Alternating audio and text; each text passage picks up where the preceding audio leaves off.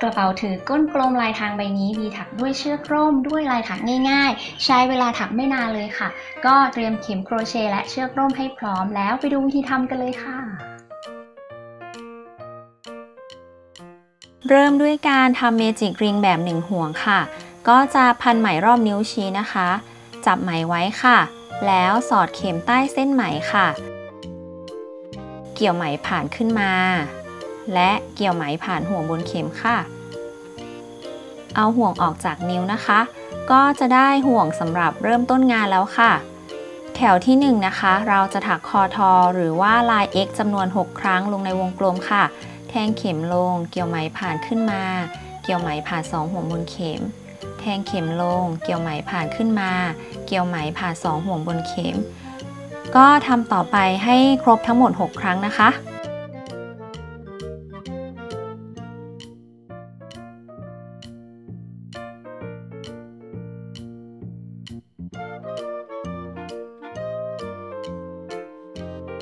จากนั้นก็จะปิดห่วงนะคะ ด้วยการดึงปลายไหมค่ะ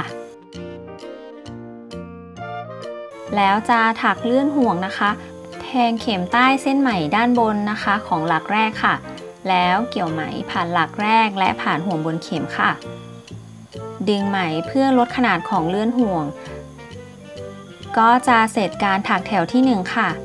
แถวที่ 2 นะคะ ถักโซ่ 1 ค่ะ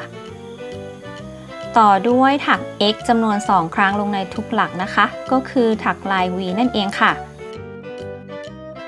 แทงเข็มในช่องแรกนะคะ ช่องเดียวกับที่เราถักเลื่อนห่วงค่ะ จากนั้นก็ถัก 1x นะคะ อีกครั้งในช่องเดิมค่ะ ก็จะได้ลาย v แล้วค่ะ ถักแบบนี้ให้ครบทุกช่องเลยนะคะ x ที่ 2 ได้ v ชุดที่ 2 นะคะ x ที่ 1 x ที่ 2 ได้ v ชุดที่ 3 ค่ะ ถักต่อไปทั้งแถวค่ะ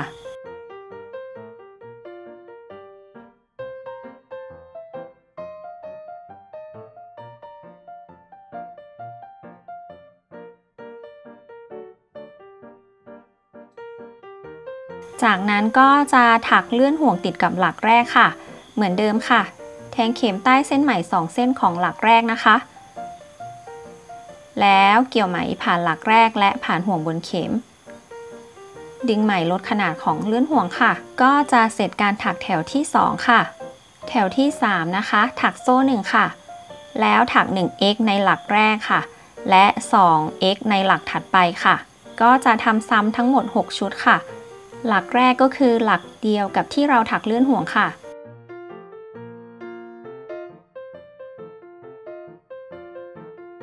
1x นะคะ หลักถัดไปก็จะถัก v หรือว่า 2x ในช่องเดียวกันค่ะ ได้ 1 ชุดค่ะ 1x นะคะ หลักถัดไปถัก 2x ค่ะ หรือว่าลาย v ได้ชุดที่ 2 ค่ะทำซ้ำต่อไปให้ครบทั้งแถวนะคะ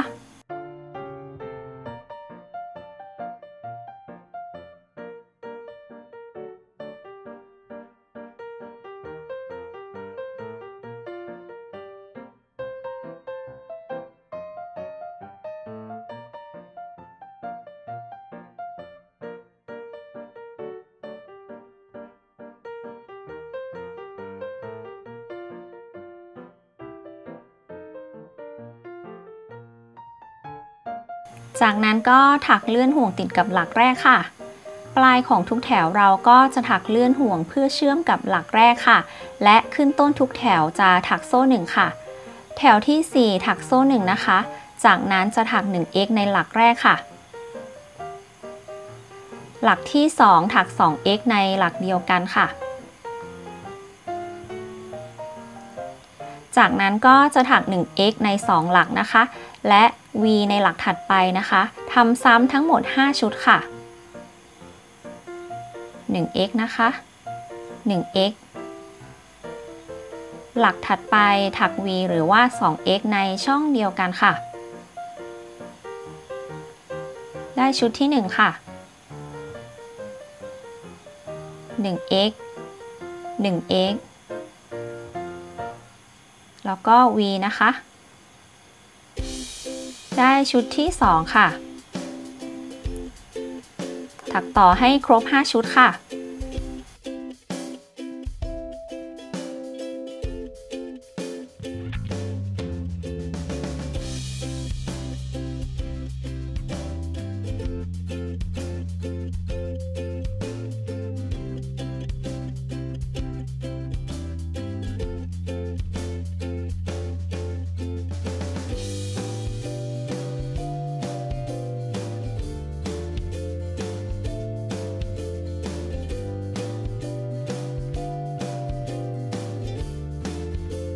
หลักสุดท้ายจะถัก 1x ค่ะ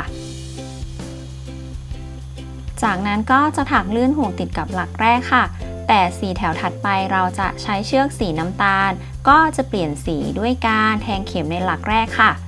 แล้วจับไหมสีน้ำตาลไว้หลังงานค่ะ แล้วเกี่ยวไหมสีน้ำตาลผ่านหลักและห่วงบนเข็มค่ะ จากนั้นก็ ดึงเชือกนะคะ สีขาวเพื่อลดขนาดของห่วงค่ะ และตัดเชือกสีขาวค่ะ แถวที่ 5 ก็จะถักด้วยสีน้ำตาลนะคะ ถักโซ่1ค่ะ ถัก 1x ใน 3 หลักค่ะ และหลักถัดไปก็จะถัก v หรือว่าคอทอ2ครั้งในหลักเดียวกันค่ะ จะทำทั้งหมด 6 ชุดนะคะ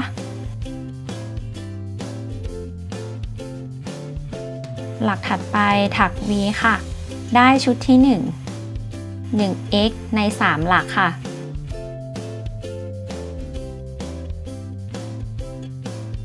x 2 ครั้งในหลักถัดไปได้ชุดที่ 2 ค่ะ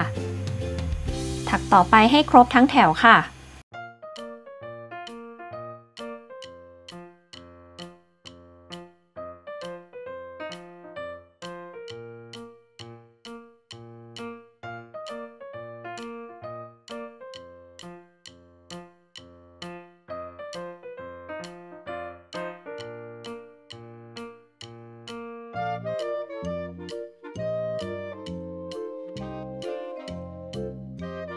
จากนั้นก็ถักเลื่อนห่วงติดกับหลักแรกค่ะ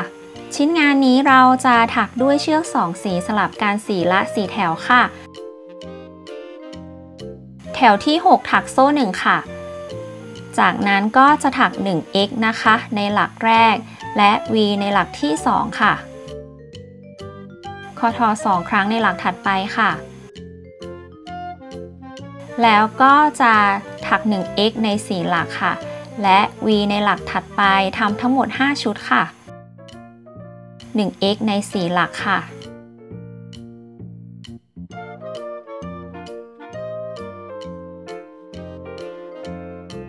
v ในหลักถัดไปค่ะ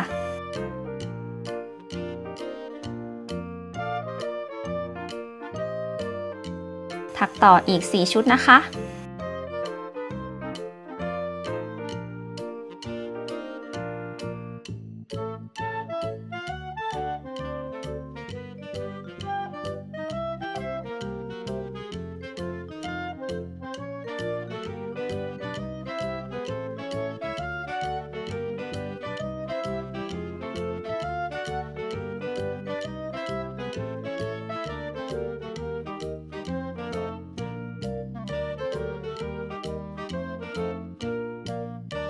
3 หลักสุดท้ายจะถัก 1x ค่ะ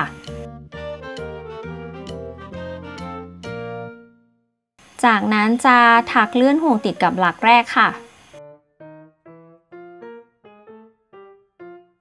แถวที่ 7 ถักโซ่ 1 ค่ะ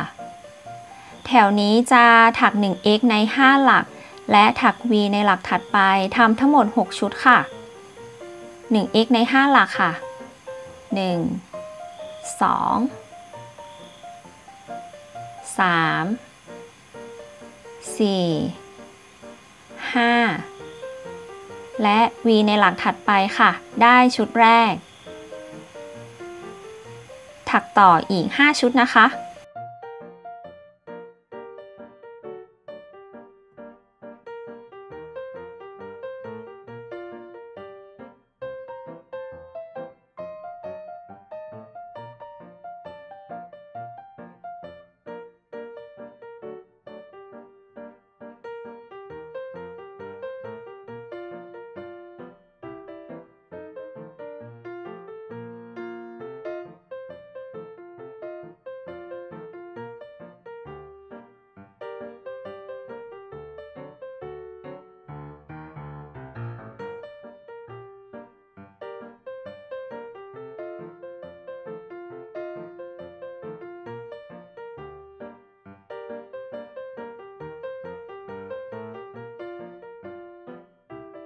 จากนั้นถักเลื่อนห่วงติดกับหลักแรกค่ะ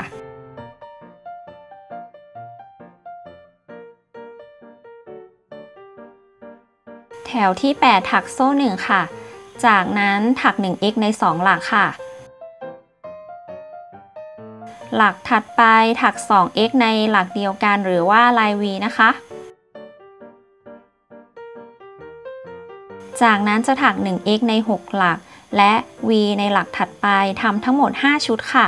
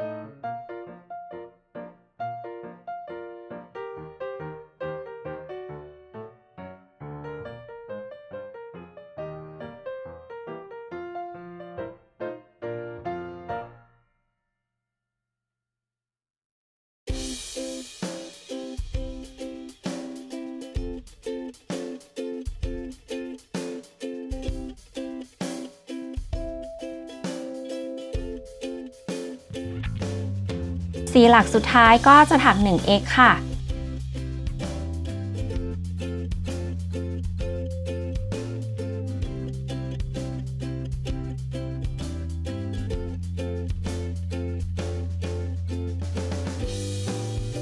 จากนั้นจะถักเลื่อนห่วงติดกับหลักแรกค่ะ แต่แถวถัดไปจะเปลี่ยนไปใช้เชือกสีขาว ก็จะแทงเข็มในหลักแรกค่ะ แล้วเกี่ยวเชือกสีขาวผ่านหลักและผ่านห่วงบนเข็ม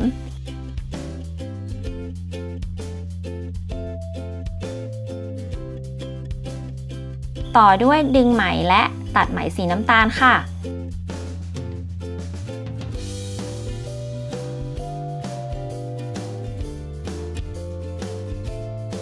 แถวที่ 9 ถักโซ่ 1 ค่ะ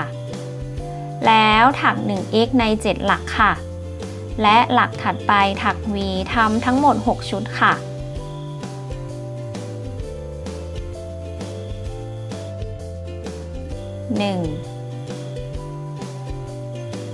2 3 4 5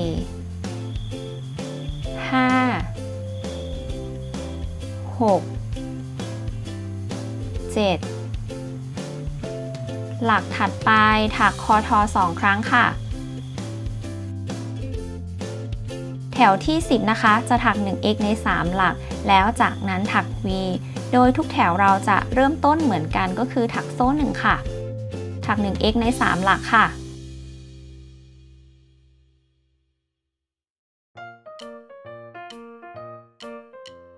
2x ในหลักถัดไปค่ะ จากนั้นจะถัก 1x ใน 8 หลักค่ะ แล้วถัก v ในหลักถัดไปทั้งหมด 5 ชุดค่ะ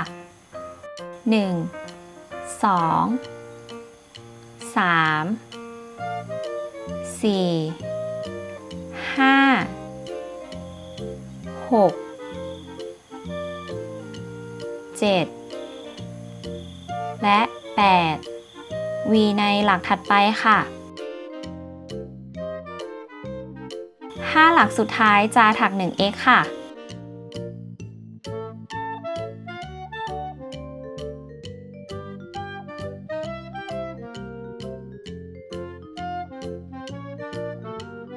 แล้วถักเลื่อนห่วงติดกับหลักแรก แถวที่ 11 ถักโซ่ 1 ค่ะ แล้วถัก 1x ใน 9 หลัก หลักถัดไปถัก v ทำทั้งหมด 9 ชุดค่ะ 1 2 3 4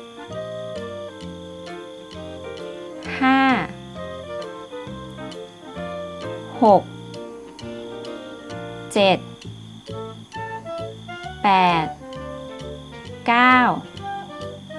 แล้วถักวีค่ะ ถักต่ออีกให้ครบทั้งแถวค่ะ แถวที่ 12 จะถัก 1x ใน 4 หลัก หลักถัดไปถักวีค่ะ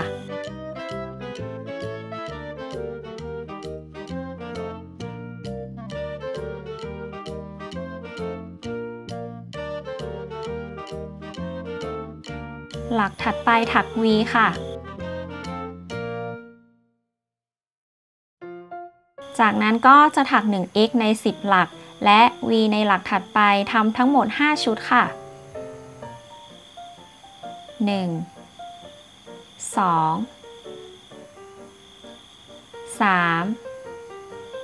4 5 6 7 8 10 หลักถัดไปถักคอทอ2ครั้งในหลักเดียวกันค่ะ ถักต่ออีก 4 ชุดค่ะ 6 หลักสุดท้ายจะถัก 1x ค่ะ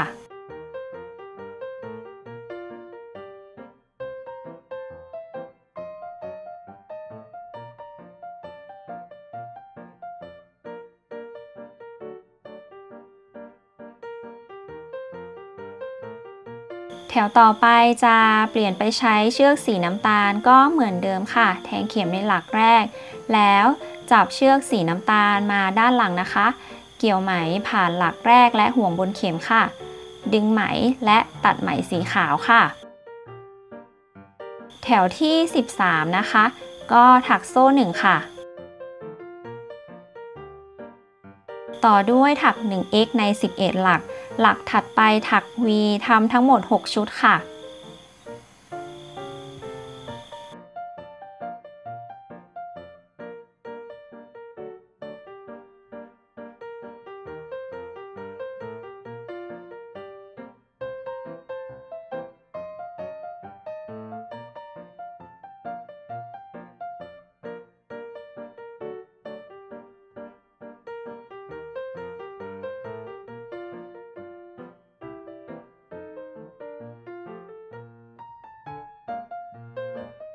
จากนั้นคอทอ2ครั้งในหลักถัดไปค่ะ หลังจากถักแถวนี้เสร็จแล้วนะคะ แถวที่ 14 เราจะถัก 1x ลงในทุกหลักรวม 78 ครั้ง จากนั้นมาดูแถวที่ 15 กันค่ะ แถวที่ 15 นะคะ ถักโซ่ 1 ค่ะ แล้วถัก 1x ใน 12 หลัก หลักถัดไปถัก v ทำทั้งหมด 6 ชุดค่ะ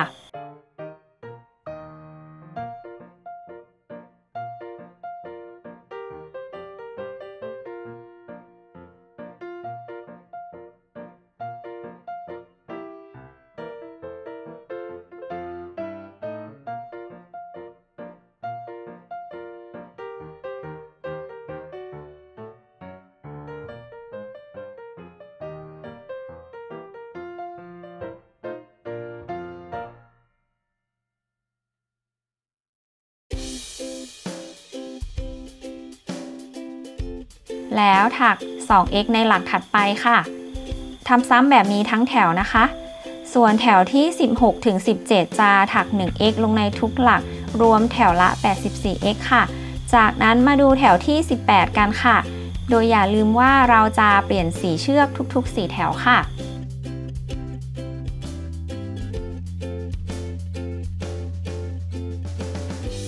แถวที่ 18 นะคะ ถักโซ่ 1 ค่ะ แล้วถัก 1x ใน 13 หลัก หลักถัดไปถัก v ทำทั้งหมด 6 ชุดค่ะ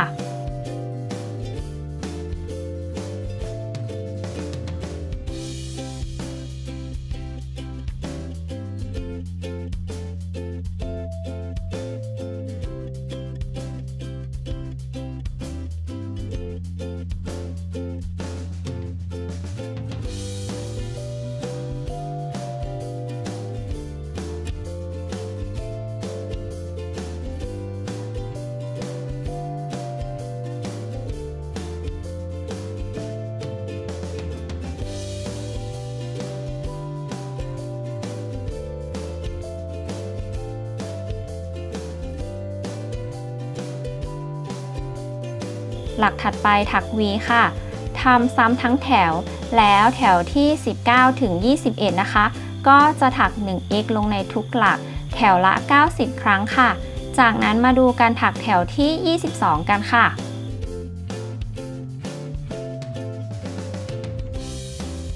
แถวที่ 22 นะคะ ก็จะถักโซ่ 1 ค่ะ แล้วถัก 1x ใน 14 หลัก หลักถัดไปถัก V ทำทั้งหมด 6 ชุดค่ะ